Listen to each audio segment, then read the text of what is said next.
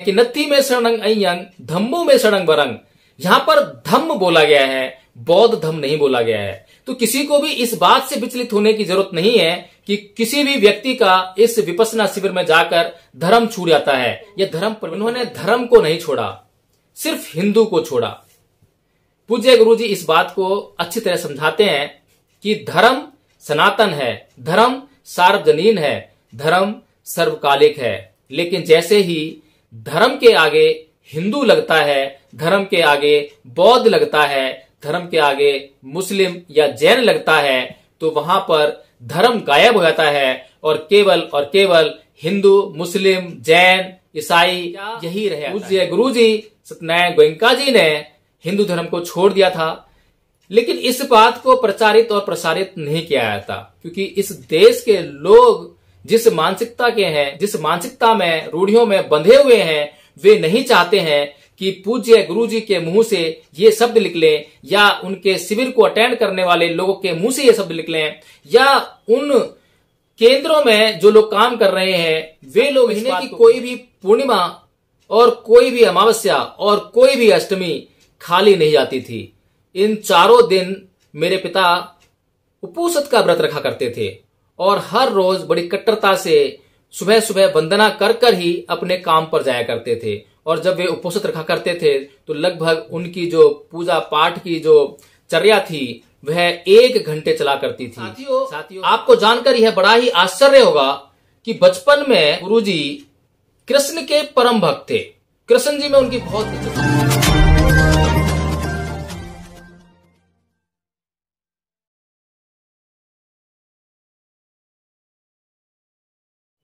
जय भीम। नमो बुद्धाय साथियों। साथियों, मैं आज एक ऐसी महान शख्सियत के बारे में चर्चा करूँगा, जिनका आज जन्मदिन है और जिन्होंने भारत की उस स्वर्णिम ऐतिहासिक विरासत के भीतर अपना महत्वपूर्ण योगदान दिया। यह महत्वपूर्ण योगदान बुद्ध के बाद, अशोक के द्वारा दिए गए योगदान और अशोक के बाद परम पूज्य बाबा साहब डॉक्टर भीमराव अंबेडकर के योगदान से किसी भी रूप में कम नहीं है। साथियों, अगर मन की बात कही जाए, प्रधानमंत्री जी हमारे अक्सर मन की बात करते हैं, लेकिन उसमें बनावटीपन बहुत ज़्यादा होता है। मन को साधना बिल्कुल भी नहीं होता है, बल्कि मन को विखंडित करके चारों दिशाओं में लालच और स्वार्थ की पराकाष्ठा उनके मन की बात में होती है। लेकिन भारत के एक सपूत, हालाँकि इस सपूत का जन्म भारत के अंदर नहीं हुआ, लेकिन उनके जो पूर्वज थे, वे भारत से थे, और भारत से वे व्यापार करने के लिए बर्मा में गए, और बर्मा में जाकर स्थापित हो गए, और एक बहुत बड़े व्यापारी घराने के रूप में वे इस संसार में जाने गए। जी हाँ साथियों, मैं बात कर रहा हूँ गुरुजी सत्यनारायण गोयंका जी की, जिनका जन्म 30 जनवरी 1924 को हुआ, और आज उस महान शख्सियत का परिनिर्माण दिवस है। जी हाँ साथियों 29 सितंबर 2013 को यह महान शख्सियत हमारे बीच में अपने महानतम कार्य को छोड़कर हमारे लिए विरासत के रूप में परोस कर इस संसार से सदा सदा के लिए चली गई। साथियों, इस महान शख्सियत का जो अमूल्य, अतुलनीय योगदान भारत की विरासत में रहा, वह है भारत के लोगों को उनके मन पर नियंत्रण स्थापित करने के लिए प्रेरित और उनका उत्साह वर्धन करना। साथियों, यह कार्य कोई आसान कार्य नहीं है। हम जानते हैं कि आज भारत के लोग मन के बहकावे में, मन के आनंद में इतने लिप्त हैं कि वे तमाम तरह के जो उनके कार्य हैं, बहुत ज़रूरी कार्य हैं, या फिर उनके जो महानतम लक्ष्य हैं, उनको भी छोड़कर वे अपने मन के अनुरूप उस आनंद को भोगने में लगे हुए हैं। साथियों, जहाँ भारत के अंदर एक ऐसी संस्कृति है जो कि लोगों को उनकी भावनाओं के अनुसार, उनकी भावनाओं को भड़काकर या कहेंगे गुमराह करके उनको एक ऐसा जीवन जीने के लिए प्रेरित करती है जो भोग विलास से भरपूर जीवन है।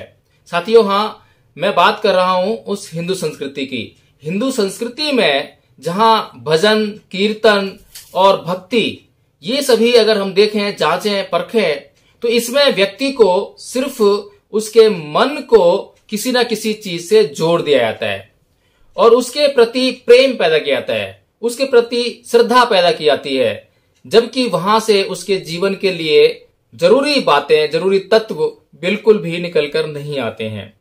साथियों, ऐसी विपरीत परिस्थितियों में और ऐसी विपरीत संस्कृति के विरुद्ध एक समता मूलक संस्कृति की स्थापना करना, उसकी शुरुआत करना, ऐसे महानतम कार्य को करने वाले पूज्य गुरु जी सत्यनारायण गोयंका जी, जिनका आज परिनिर्वाण दिवस है तो उनके कार्य की चर्चा अगर ना की जाए तो बात अधूरी रह जाएगी। साथियों, तथागत बुद्ध ने धमपद में कहा कि मनोपबंगमा धम्मा मनुष्यठा मनोमया मनसा चय पदुठेन, भासती वा करोती वा तो नंग दुख मनवेत्ती चक्कंग वह भैतु पदंग और दूसरे पद में कहा कि मनोपंगमा धम्मा, मनोसेठा, मनोमया, मनसा चय पसनेन, भासती वा करोती वा तो नंग सुख मनवेत्ती छाया वे अनपायनी साथियों, इन दोनों पदों में धमपद के बिल्कुल शुरुआती पद हैं, पहला पद और दूसरा पद है। और दोनों ही पद में तथागत बुद्ध मन पर नियंत्रण करने पर ज़ोर देते हैं। मन के नियंत्रण पर ज़ोर देने के लिए, प्रेरित करने के लिए तथागत बुद्ध ने यह दोनों बातें कही। तथागत बुद्ध ने कहा कि मन ही सभी प्रवृत्तियों का अगुवा है और मन से ही सभी धर्म, यानी सभी कार्य उत्पन्न होते हैं। और आपका मन जैसा होगा, वैसे ही आपके कार्य के परिणाम भी निकलेंगे। यदि आपका मन सुखी है तो आपके जीवन में अच्छे परिणाम आएँगे और आपका मन दुखी है तो आपके जीवन में बुरे परिणाम आएँगे। साथियों, इसके अलावा तथागत बुद्ध ने मन को ही नियंत्रण करने पर पूरे धमपद में ज़ोर दिया है। और इसके लिए मन पर नियंत्रण स्थापित करने के लिए बुद्ध ने ज़ोर क्यों दिया, इसको इस गाथा में बुद्ध ने कहा कि फंदनंग चपलंग चित्तंग दुरखंग दुनिवार्यंग, उजुंग करोती मेधावी, उसकारो व तेजनंग। इसका मतलब यह है कि जो मन है, यानी मन को चित्त कहा चित्त जो है, चंचल है, चपल है, दुरख्य है। दुरख्य मतलब कि इसकी रक्षा बड़ी मुश्किल से होती है। और हमने देखा भी है कि हमारा मन बहुत डावाडोल होता है, बहुत चंचल होता है। अभी एक पल यहाँ तो दूसरे पल वहाँ। इसीलिए बुद्ध ने यह कहा कि यह बहुत ही क्षणिक है। क्षण भर में इसकी स्थिति बदल जाती है। इसको अगर नियंत्रण कर लिया तो कोई भी व्यक्ति अपने जीवन में कोई भी मानतम कार्य कर सकता है।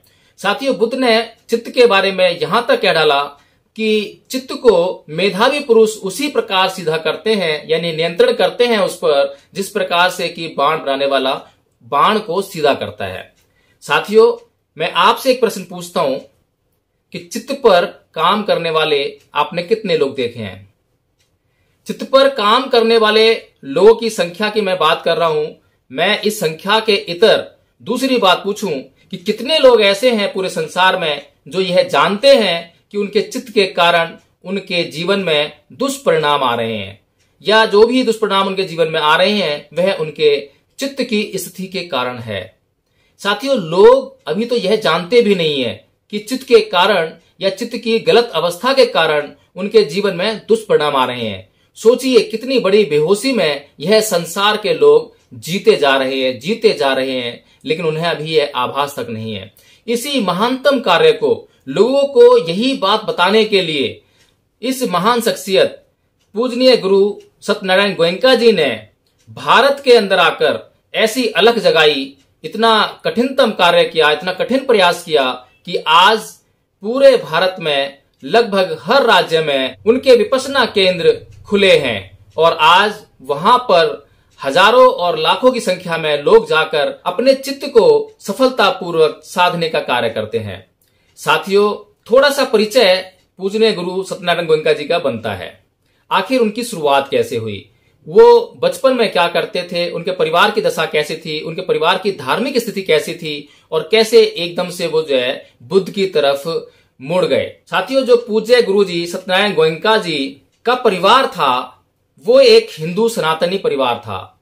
भारत से गया था, भारत के गुजरात प्रदेश से गया था, और गुजरात प्रदेश में हम जानते हैं कि ज़्यादातर लोग बनिया यानी व्यापार का कार्य करते हैं और व्यापार करने की दृष्टि से ही वे लोग बर्मा गए और वो भारत के एक हिंदू सनातनी, कट्टर हिंदू सनातनी, खाली हिंदू सनातनी कहने से काम नहीं चलेगा, बल्कि कट्टर हिंदू सनातनी परिवार था और बर्मा में जाकर इस परिवार ने सफलता पूर्वक अपने व्यापार को स्थापित किया, बल्कि स्थापित नहीं किया वर्मा के उच्च घरानों में शामिल हो गया। और साथियों आपको जानकर यह बड़ा ही आश्चर्य होगा कि बचपन में सत्यनारायण गुरु जी कृष्ण के परम भक्त थे।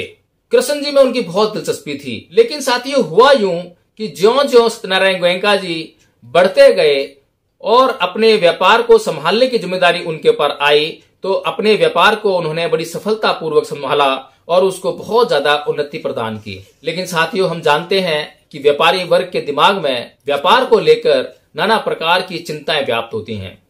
इन्हीं चिंताओं के कारण पूज्य गुरु जी सत्यनारायण गोयंका जी को माइग्रेन की शिकायत होने लगी।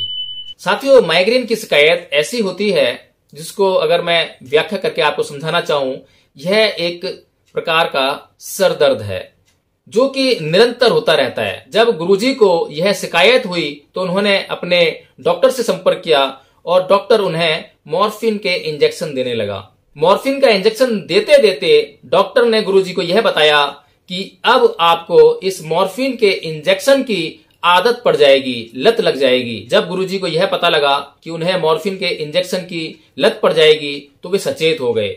उन्हें इस बात के लिए काफ़ी दुख हुआ और उन्होंने इस बात के लिए प्रयास किया कि किसी भी प्रकार से इस मॉर्फिन के इंजेक्शन से उनको छुटकारा मिल सके। साथियों, मॉर्फिन के इंजेक्शन से छुटकारा पाने के लिए उन्होंने अपने देश, बर्मा के तमाम बड़े बड़े डॉक्टरों से संपर्क किया, लेकिन उन्हें सफलता नहीं मिली। अपने देश के डॉक्टरों के पास जाकर ही संपर्क नहीं किया, बल्कि पूरी दुनिया में ब्रिटेन, जर्मनी, अमेरिका, हर देश से जहाँ भी उन्हें लगा कि यहाँ पर अच्छी चिकित्सा पद्धति है या यहाँ के डॉक्टर विश्व स्तरीय हैं, उन्होंने हर एक डॉक्टर के पास जाकर संपर्क साधा और बहुत सारा धन भी इस बीमारी पे खर्च किया, लेकिन उनको माइग्रेन से छुटकारा नहीं मिला। लेकिन साथियों, तब उन्हें एक ऐसे व्यक्ति ने सलाह दी, जो कि बर्मा की जो सुप्रीम कोर्ट है, उसका न्यायाधीश था, और उनसे काफ़ी संपर्क था गुरुजी का। सुप्रीम कोर्ट के इस न्यायाधीश ने गुरु जी को यह सलाह दी कि विपसना के गुरु सयाजी ऊ बाखिन से आप मिलें, वे आपकी इस बारे में काफ़ी मदद कर सकते हैं। साथियों, वह उनकी सलाह मानकर जब सयाजी उबा बाखिन से मिले तो उन्होंने देखा कि वे एक बौद्ध धार्मिक गुरु थे और उनसे मिल तो लिए, लेकिन उनके मन में एक चिंता व्याप्त हो गई कि वे कहीं उनका धर्म परिवर्तन ना कर दें कहीं वे हिंदू से बौद्ध न बन जाएँ। लेकिन साथियों, जब उन्होंने यह चिंता सयाजी उबाखिन के सामने ज़ाहिर की तो सयाजी उबाखिन ने उन्हें सांत्वना दी और यह कहा कि धर्म का किसी भी संप्रदाय से कोई लेना देना नहीं है। मैं तुम्हारे धर्म में बिल्कुल भी किसी भी प्रकार का कोई भी परिवर्तन नहीं करूँगा। बौद्ध धर्म में किसी भी प्रकार के कर्म कांड के लिए कोई जगह नहीं है। और आपको किसी भी प्रकार की अपनी पद्धति को छोड़कर किसी भी प्रकार की दूसरी पद्धति को नहीं अपनाना पड़ेगा। जब यह बात पता लगी तो संकोच बस क्योंकि अभी भी उनके भीतर संदेह था, संशय था, और संकोच बस ही उन्होंने वह कैंप जो दस दिन का कैंप लगा करता था, विपसना शिविर का, उसमें शामिल हुए और उस दस दिन के कैंप में उनको बड़ी राहत मिली। और जब उन्हें राहत मिली उस दस दिन के कैंप के बाद, गुरुजी ने यह निर्णय किया कि अब मैं इस विपसना विधि को अच्छी तरह से सीखकर इसका प्रचार प्रसार भी करूँगा। साथियों, आपको जानकर यह बड़ा आश्चर्य होगा कि एक कट्टर हिंदू सनातनी परिवार ने जब यह जाना कि गुरुजी एक बौद्ध धर्म गुरु के पास गए हैं, तब उनके परिवार ने ही नहीं, बल्कि उनके पूरे समुदाय ने बहुत बड़े स्तर पर विरोध किया और उन्हें कहा कि आप जो है धर्म परिवर्तन कर रहे हैं, आपका धर्म भ्रष्ट हो जाएगा। नाना प्रकार की बातें उनके समाज में होने लगी, लेकिन साथियों, इन सब विरोधों का सामना करते हुए गुरुजी ने लगातार चौदह वर्ष तक निरंतर इस विपसना विधि को सीखा और अच्छी तरह से सीखने के बाद सयाजी बा उखिन ने उन्हें बताया कि ढाई हज़ार वर्ष बाद बुद्ध के देश में जहाँ से कि बौद्ध धर्म बिल्कुल लुप्त हो गया है समाप्त प्राय हो गया है वहाँ पर यह पुनः जाएगा इस प्रकार की भविष्यवाणी किसी ने की थी। तो गुरुजी के गुरुजी सयाजी उबाखिन जी ने उन्हें यह बताया कि अब यह समय आ गया है और आपको यह विद्या भारत में पुनः लेकर जानी है। और आपको इसके लिए जितने भी कष्ट हैं वो उठाने पड़ेंगे। साथियों, वहाँ से यह विद्या लेकर गुरुजी भारत आए और भारत में आकर उन्होंने छोटे से स्तर पर यह विद्या देना शुरू की। साथियों, इसके बारे में पूरी जानकारी आपको विपसना केंद्र जाकर जब आप विपसना शिविर करेंगे तो उसमें अच्छी तरह से और अच्छी तरह से गुरुजी के खुद के शब्दों में मिल जाएगी। मैं यहाँ पर सिर्फ़ गुरुजी का एक छोटा सा परिचय दे रहा हूँ। साथियों, अब गुरुजी का मेरे जीवन में क्या योगदान है, ये भी बड़ा महत्वपूर्ण है। मेरे जन्म के साथ ही मेरे पिताजी बौद्ध धर्म में परिवर्तित हो गए।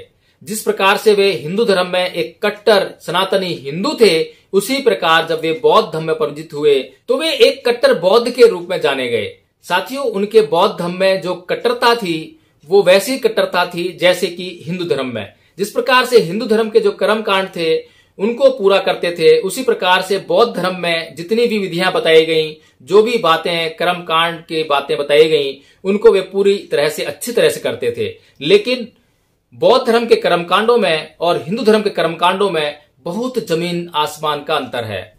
जहाँ बौद्ध धर्म के कर्मकांड जीवन को शुद्ध करने का कार्य करते हैं, वहीं पर हिंदू कर्मकांडों में जीवन की शुद्धता से कोई लेना देना नहीं है। साथियों, महीने की कोई भी पूर्णिमा और कोई भी अमावस्या और कोई भी अष्टमी खाली नहीं जाती थी।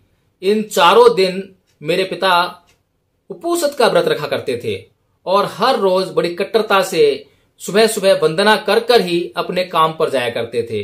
और जब वे उपोषित रखा करते थे तो लगभग उनकी जो पूजा पाठ की जो चर्या थी, वह एक घंटे चला करती थी। साथियों, हमारे जीवन में यह बहुत ही एक विशेष घटना थी जिसको हमने अपनी आँखों से देखा, हमने उस व्यवहार को देखा, लेकिन आज वो चर्या मुझे अपने बौद्ध परिवारों में कहीं भी देखने को नहीं मिलती है। मैंने अपने जीवन में बौद्ध धर्म की पद्धति को देखा, बौद्ध धर्म का नाम सुना और बुद्ध के बारे में भी सुना। लेकिन साथियों, बुद्ध के धम्म के गूढ़ ज्ञान से अभी तक मैं वंचित था। प्रज्ञा से पूरी तरह से वंचित था। प्रज्ञा क्या होती है?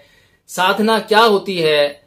या फिर कहें कि सील, समाधि, ये क्या है, इसको मैं बिल्कुल भी नहीं जानता था। मोटे मोटे स्तर पर मैं एक संप्रदायवादी था, एक संप्रदाय का व्यक्ति था, सदस्य था। लेकिन साथियों, जब मैंने 2016 में धर्म का अध्ययन करना शुरू किया तो मुझे उसके गूढ़ रहस्यों का पता लगना शुरू हुआ। उसके बाद मेरा अध्ययन और भी बारीक होता गया, और भी बारीक होता गया, और कई बातों पर मुझे रुकावट पैदा हुई, मुझे असहजता पैदा हुई, क्योंकि उनके बारे में कोई भी व्यक्ति अच्छी तरह से समझा नहीं सकता था।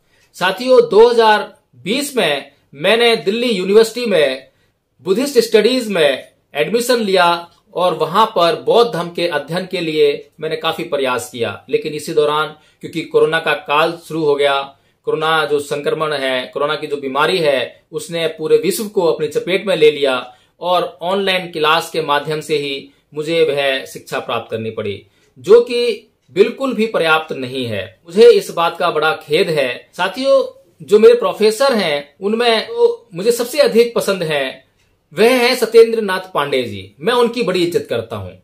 मेरी, उनके अंदर बड़ी श्रद्धा है। मेरी श्रद्धा और मेरी उनके लिए इज़्ज़त इस बात में नहीं है कि वे मेरे गुरु हैं। बल्कि इस बात में है कि बौद्ध धर्म के सिद्धांतों का उन्होंने गूढ़ अध्ययन किया है और अच्छी तरह से समझाने में सफल हैं। लेकिन साथियों, एक चीज़ जो कि मुझे यहाँ भी समझ में नहीं आ सकी, वह थी संखार। संकार का अर्थ मुझे समझ में ही नहीं आ रहा था। संखार यानी संस्कार का जीवन में क्या महत्व है, यह कैसे काम करता है, मुझे बिल्कुल भी समझ में नहीं आ रहा था। मैं दिन रात इसके बारे में सोचता था, बहुत से वीडियोस देखता था, यहाँ तक कि मैंने पूज्य गोयंका जी के वीडियोज़ भी देखे और उनके वीडियोज़ छोटे छोटे थे, क्लिप थे छोटे छोटे उनको मैं देखकर काफ़ी समझने का प्रयास किया, उन्हें काफ़ी दोहराया, उन्हें काफ़ी याद भी किया मैंने, लेकिन मुझे यह समझ में नहीं आ रहा था। साथियों, इसके अतिरिक्त जब मैंने अपना एमए स्टडीज़ का अध्ययन शुरू किया तो वहाँ मैंने काफ़ी चीज़ों को बेहतरीन तरीके से समझा और वहाँ से मुझे प्रज्ञा का अनुभव होने लगा और मेरे भीतर से कुछ ऐसी बातें निकलने लगी जो बिल्कुल नई थी। उन्हीं बातों के माध्यम से और उन बातों को लेकर अभी अगस्त में, अगस्त 2021 में एक विपसना का शिविर करने का मौका मिला और जब मैंने यह विपसना का शिविर किया तो इसके तीन दिन तक तो आना पान ही कराया, लेकिन चौथे दिन मुझे अपार प्रसन्नता हुई, क्योंकि जो ज्ञान मैं यहाँ से लेकर गया था उस ज्ञान की कड़ियाँ उस ज्ञान से जुड़ी और वहाँ जो शंका थी, जिस बात का अर्थ मेरे समझ में नहीं आ रहा था, वो इतनी अच्छी तरीके से, इतने आसानी से समझ में आ गया कि अब मेरे मन में चित्त की स्थिति को लेकर, संस्कार को लेकर किसी भी प्रकार की शंका नहीं रह गई है। साथियों, मेरे जीवन में यह प्रमुख देन पूज्य गुरु सत्यनारायण गोयंका जी की है और इसके लिए मैं उनका सदैव कृतज्ञ रहूँगा। साथियों, सबसे महत्वपूर्ण बात यह है कि आज पूज्य गुरु जी सत्यनारायण गोयंका जी के द्वारा स्थापित किए गए शिविरों में किसी भी एक विशेष वर्ग के या किसी भी एक विशेष संप्रदाय के या किसी भी विशेष जाति के लोगों का ही वहाँ पर विपसना शिविर नहीं होता है, बल्कि ये विपसना शिविर हर जाति, हर वर्ग, हर धर्म के लिए खुले हुए हैं। और ये खाली सैद्धांतिक रूप में नहीं है कि मैं अपने मुँह से कह रहा हूँ जैसा हम अक्सर बोलते हैं हिंदू लोग बोलते हैं अपने सिद्धांतों में कि हमारे भीतर कोई भेदभाव नहीं है, हमारे लिए सभी लोग वो हैं, लेकिन सिद्धांतों के जब इम्प्लीमेंट किया जाता है, जब व्यवहार में उनको देखा जाता है तो पता लगता है कि ये तो दूषित मानसिकता से ग्रसित हैं और ये अपने संप्रदाय, अपने वर्ग के लोगों का हित चाहते हैं और दूसरे लोगों से, दूसरे संप्रदायों से घृणा करते हैं। लेकिन साथियों, आपको पूज्य गुरु जी के द्वारा स्थापित किए गए शिविरों में जाकर यह देखने का मौका मिलेगा कि यहाँ पर वास्तव में हर संप्रदाय, हर धर्म, हर जाति के लोग आते हैं और वे इस विपसना साधना को सीखकर बहुत ही लाभ उठाते हैं। लेकिन साथियों, सबसे बड़ा सोचनीय विषय यह है कि ये लोग जो जाकर विपसना विधि का लाभ उठाते हैं, ये लोग प्रज्ञा से रहित होते हैं। प्रज्ञा है अपने भीतर का ज्ञान, जो अपने से किसी भी बात को समझकर उसका विश्लेषण कर सके, उसको अच्छी तरह से जान सके, उसकी गंभीरता को पहचान सके। लेकिन साथियों, दस दिन के कैंप के बाद भी यदि कोई व्यक्ति ये प्रश्न करता है कि क्या सत्यनारायण गोयंका जी ने हिंदू धर्म छोड़ दिया था तो साथियों, मुझे यहाँ पर उन लोगों की बुद्धि पर एक प्रश्न चिन्ह लगाने का मौका मिल जाता है। क्योंकि साथियों, दसों दिन सुबह जो साढ़े चार बजे से लेकर साढ़े छह बजे तक जो विपसना होती है जो साधना होती है, उसमें अंतिम आधा घंटे में पूजनीय गुरु जी जो बोलते हैं, जो कहते हैं, उसमें बड़ा सार है। उसमें इस बात का जवाब है कि क्या पूज्य गुरु जी सत्यनारायण गोयंका जी ने हिंदू धर्म को छोड़ दिया था? लेकिन इस बात को प्रचारित और प्रसारित नहीं किया जाता, क्योंकि इस देश के लोग जिस मानसिकता के हैं, जिस मानसिकता जिस मानसिकता में रूढ़ियों में बंधे हुए हैं, वे नहीं चाहते हैं कि पूज्य गुरु जी के मुँह से ये शब्द निकले, या उनके शिविर को अटेंड करने वाले लोगों के मुँह से ये शब्द निकले, या उन केंद्रों में जो लोग काम कर रहे हैं, वे लोग इस बात को कहें। और वास्तव में यह बात कहना बिल्कुल गलत है कि क्या उन्होंने हिंदू धर्म को छोड़ दिया था। साथियों, उन्होंने धर्म को नहीं छोड़ा, सिर्फ़ हिंदू को छोड़ा। पूज्य गुरु जी इस बात को अच्छी तरह समझाते हैं कि धर्म सनातन है, धर्म सार्वजनीन है, धर्म सर्वकालिक है। लेकिन जैसे ही धर्म के आगे हिंदू लगता है, धर्म के आगे बौद्ध लगता है, धर्म के आगे मुस्लिम या जैन लगता है तो वहाँ पर धर्म गायब हो जाता है और केवल और केवल हिंदू, मुस्लिम, जैन, ईसाई यही रह जाता है।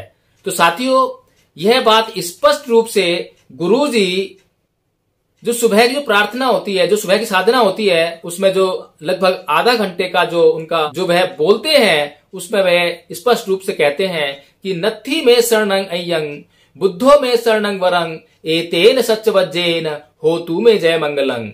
नत्थी में शरणंग अयंग धम्मो में शरणंग वरंग ए तेन सच वज्जेन हो तू में जय मंगलंग। नत्थी में शरणंग अयंग संघो में शरणंग वरंग एतेन सच्चवज्जेन तू में जय मंगलंग तो साथियों, इन बातों का मतलब यह है कि मेरी केवल और केवल बुद्ध की ही शरण है।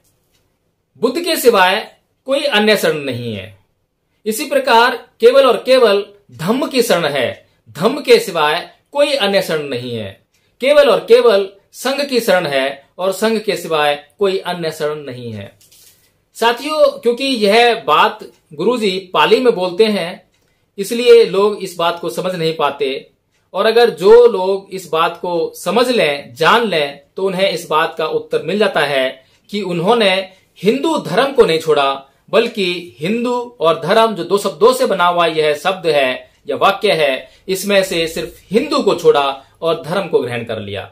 धर्म हर किसी व्यक्ति के लिए है। जैसा कि जो दूसरी बात कहते हैं कि नत्थी में सड़ंग अयंग धम्मो में सड़ंग बरंग यहाँ पर धम्म बोला गया है, बौद्ध धम्म नहीं बोला गया है। तो किसी को भी इस बात से विचलित होने की ज़रूरत नहीं है कि किसी भी व्यक्ति का इस विपसना शिविर में जाकर धर्म छूट जाता है या धर्म परिवर्तन हो जाता है, बल्कि वह सच्चे धर्म को जान लेता है, बल्कि उससे हिंदू, मुसलमान और जैन, बौद्ध ये छूटता है और सिर्फ़ और सिर्फ़ वहाँ धम रहता है, जो कि उसके लिए कल्याणकारक है और धम ही उसका कल्याण कर सकता है। तो मैं अपनी इन्हीं बातों के साथ अपनी बात को समाप्त करता हूँ और आज पूज्य गुरु जी सत्यनारायण गोयंका जी का परिनिर्माण दिवस है। जो भी मुख्य तिथियाँ किसी भी महान पुरुष के जीवन में होती हैं तो वह बड़ी महत्वपूर्ण होती हैं इस बात के लिए कि हम उन तिथियों पर उस व्यक्ति के जीवन चरित्र को देखें, जाने और उससे हम अपने जीवन में क्या प्रेरणा ले सकते हैं, हम उसको समझ सकें। और मैंने जो गुरुजी के जीवन चरित्र से प्रेरणा ली है, वह यह है कि मुझे भी उनकी भांति सिर्फ़ और सिर्फ़ धम्म का प्रचार और प्रसार अपने भारत देश में और मौका मिले तो विदेशों में भी जाकर करना है। और मैं इस बात के लिए प्रतिबद्ध हूँ, संकल्पित हूँ और मैं इसे कर कर ही रहूँगा। जय भीम। नमो बुद्धाय साथियों।